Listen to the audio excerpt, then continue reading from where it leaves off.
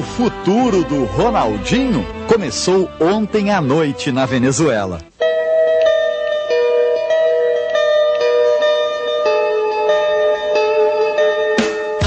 Amigos do Ronaldinho versus amigos do Messi, no estádio monumental da cidade de Maturim.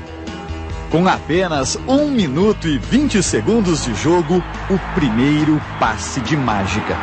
Sem olhar para a bola e para o companheiro Fernando Baiano. Já o Edmundo, Ronaldinho viu. Já o Fernando Santos, Ronaldinho olhou. Já o goleiro Roberto Pato, a de Danzieri, Ronaldinho nem deu a mínima. Desprezo total. E mesmo com o circo armado num gramado molhado, pesado, eis que ressurge o malabarista.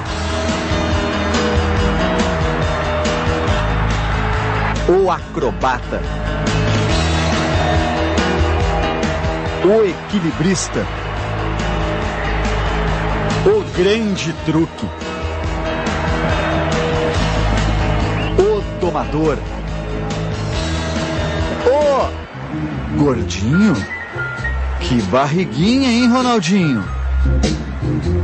Um trabalho para Paulo Paixão, preparador físico da seleção brasileira, que a partir desta semana começará os treinamentos para deixar Ronaldinho em melhores condições físicas, para ajudar Dunga na busca do ouro nas Olimpíadas de Pequim como ajudou Júlio Batista.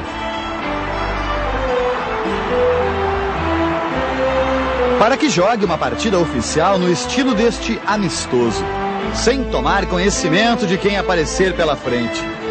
Tipo o segundo gol que fez no passe do Edmundo. E para que Ronaldinho não seja substituído, como foi pelo técnico Zico. Amigos do Ronaldinho 7, amigos do Messi 7.